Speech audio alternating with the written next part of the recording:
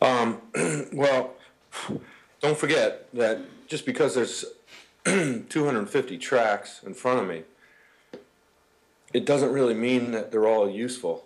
Um, and it certainly doesn't mean that, um, it doesn't mean that they're all meant to be wide.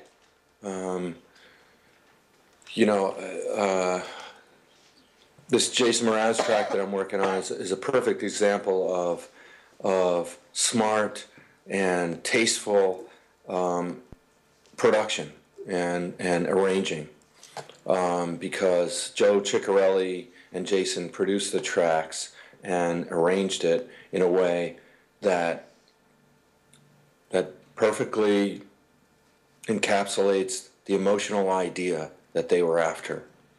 And um, so, as far as the stereo spectrum goes, it, I don't give a crap about that. I don't. I don't care how wide something sounds. It's it's all emotion. That's what it is. You know. I know that that y'all are, are young enough to be listening to it and thinking, you know, that, that this width is something, or uh, you, you know, that this is an amazing thing. But um, anybody who does this on a daily basis for their living um, is really just thinking about emotions and about the song.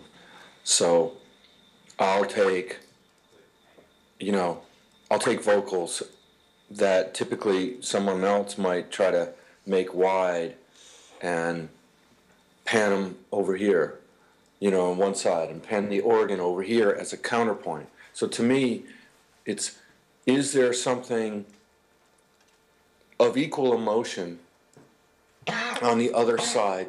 So if I put the vocal, the background vocal part, that's sort of a, you know, a Jamaican, you know, island kind of, uh, you know, uh, chanty vocal put over here. What's what's the thing of equal emotion and character I can put over here to counter it?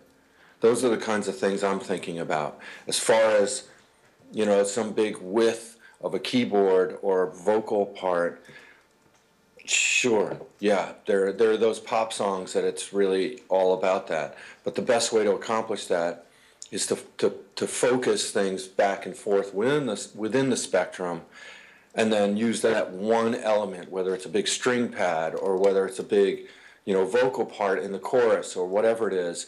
So the way that you create that width is by not using it up with other things.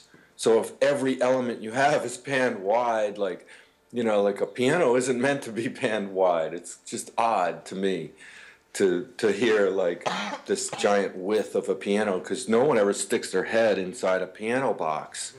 Um, so you know you have to think about your placements based on on uh, based on individual characters and emotions happening in the song, and then you know where you do want this big wide thing to happen, use one element to do that or two elements to do that um, and you can you can you can thread them throughout the song so that in the the B section there's uh, one element that's big and wide, and then the chorus is another element that's big and wide.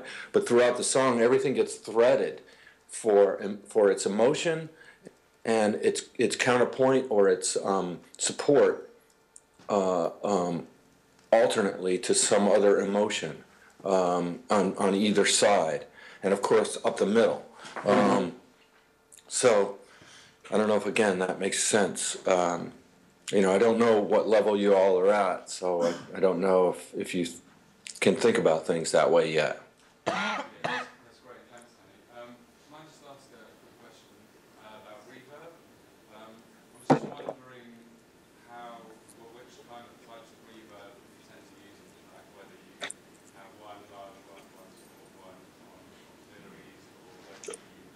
Um,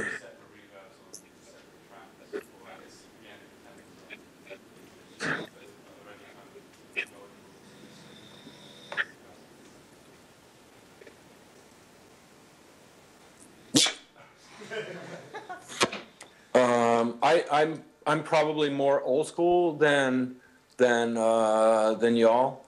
Um, so I, you know, my first experiences in apprenticeship and training were with um, you know with old school guys in New York who had um, no automation and had two EMT 140 plates to use. Um, so of course I don't do that, but um, we I, I keep that concept going.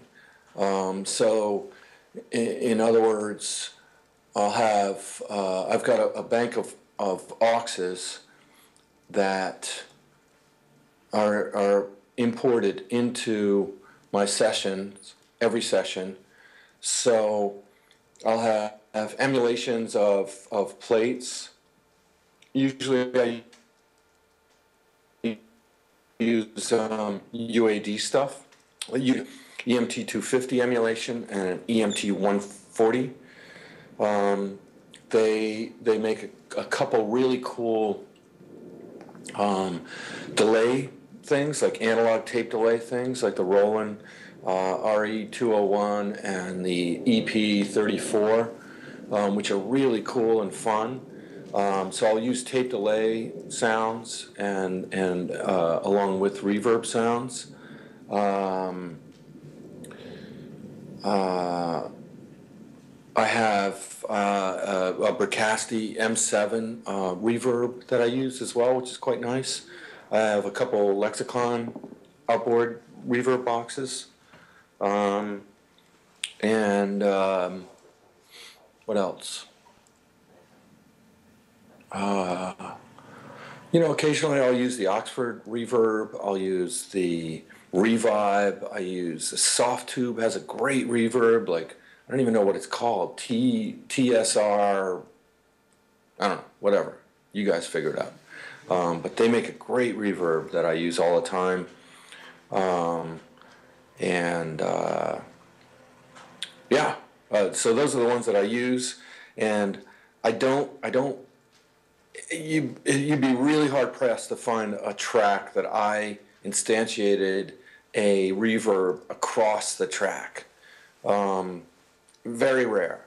Um, uh, it's just not in my nature to do that. I would, I would even if I was going to only use it on that one track, I would probably create an aux and send and and and do it that way.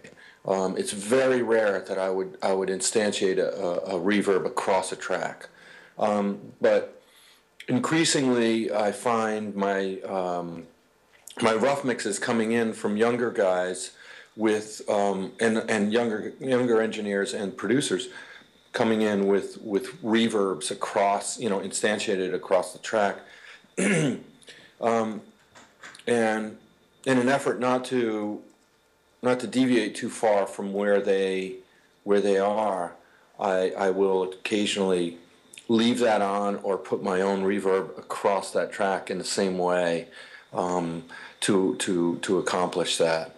Um, but it's pretty rare that I'll do that. Did that make any sense? I, I'm not even sure that answered the question. I, I blabber on so much.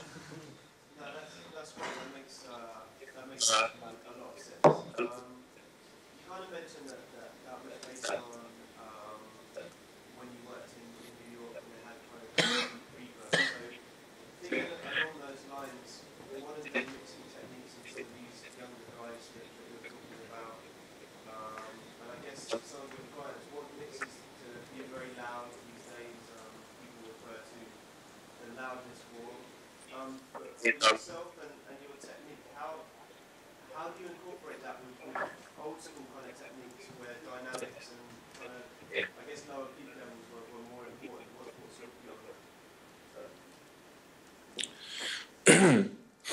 I don't. I don't really try to compete. It's it's not my thing. I don't do it this way. Um, to me, um, maximization is a is a technique that is is for the mastering engineer to implement. Uh,